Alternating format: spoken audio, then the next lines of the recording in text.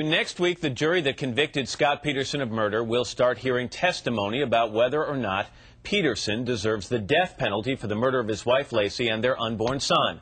And among the witnesses who could be called back to testify is Peterson's former girlfriend, Amber Frey. Her recorded phone conversations with Peterson may have helped to seal his fate. Gloria Allred is Amber Frey's attorney, and defense attorney Roy Black is an NBC News analyst. Good morning to both of you. Good morning. Gloria, you've Good morning, seen. Matt. Uh, good morning, Roy. Gloria, you've seen and spoken to Amber Frey since the verdict on Friday. Uh, her father said in an interview that he could hear tears in her voice when she discussed the verdict. How would you describe her reaction? Matt, it was a very emotional day, and her feelings towards Scott Peterson are very complicated. But she's always said that it was for the jury to decide whether or not Scott Peterson was guilty of the crimes for which he's charged, and that God would be the ultimate judge. And that's still her position. You say her feelings towards Scott Peterson are complicated. Was there a certain sense of guilt that sh- that her testimony may have helped to seal this fate? I think that she knows that she played a role in this trial, and obviously she was a witness that was called by the prosecution. But again, it was those 12 jurors that made that decision. And so she knows that she did her duty, and I might add that I'm really proud of her because it took an enormous amount of courage to do what she did, to tape those phone calls between herself and Scott after Laci disappeared, and she did so at potential risk of harm to herself. And when she was doing that, Gloria, when she was taping those phone conversations, and even when she marched into that courtroom through all the cameras to testify bravely, as a lot of Yes. people say, did, did she stop to think about the death penalty? That this was a case where he faced the death penalty? And what were her feelings about that? her feelings are that she has always prayed for Laci and for Conner, and she's very well aware of the double murder, uh, and that it's a real tragedy for Laci, for Conner, for their family, and so her focus was just to tell the truth, whatever the consequences would be from telling the truth. Then it was not for her to decide about those consequences. One of the possible consequences is the death penalty, and there's been some talk, some reporting over the weekend that during the penalty phase, the defense might like to call Amber Frey because it's been reported she's philosophically opposed to the death penalty. Would she testify in the penalty phase for the defense willingly? Well, I have not been notified by the defense that they are going to seek to call her. As a matter of fact, Mark Geragos said that he was going to call her in the preliminary hearing and then didn't.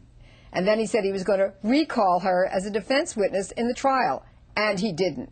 So if now he's saying that he's going to try to call her as a defense witness in the sentencing stage, well, that's news for me. We'll see what whether he does that or not. She's not going to disclose whether or not she thinks that Scott Peterson should get the death So penalty. So you won't tell me whether she does or doesn't think he deserves a death penalty. Well, that decision should be made by the jury after they hear all of the evidence, and they're going to begin to hear that evidence very soon. Roy, you're a defense attorney. You've just lost a tough trial. You're representing Scott Peterson, and you've got, you think, one of the key witnesses for the prosecution who may have a philosophical opposition to the death penalty. Would you call Amber Frey? Uh, not a chance. I'm not going to put a potentially adverse witness on the stand and cause controversy over that. I only want people who are favorable, who are going to say nice things about my client. Remember, the jury has to make a decision whether to sentence this person to death.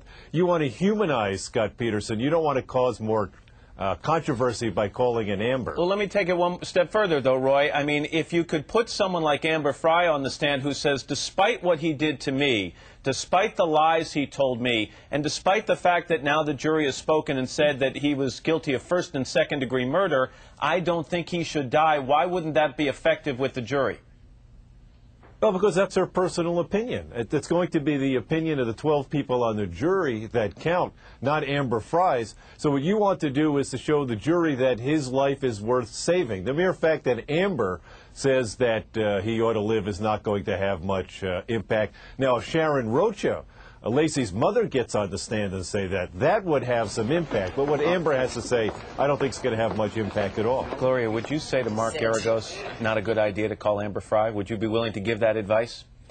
I think that uh, Mark Geragos probably wouldn't follow my advice if I gave it. Having said that, uh, I think it probably would not be a wise move for him to call her.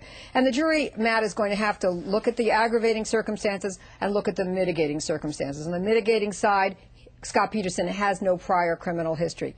On the aggravating, aggravating side, they can look at the nature and the circumstances of the crime. We have an eight month pregnant woman, we have a fetus.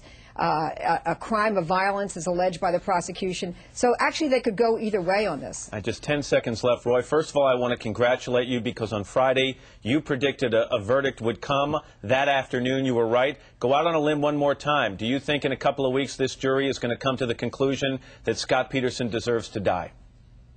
Absolutely not. And I think the jury has signaled their intentions by only finding him guilty of second degree murder of the unborn child. If they were really after him, if this was really something they were looking for in the death penalty, they would have found him guilty of first degree murder on both deaths. On the other hand, by finding first degree and second degree, that qualified him potentially for the death penalty. So we'll have to wait and see. To be continued. Gloria Allred and Roy Black, thanks to both of you. I appreciate it.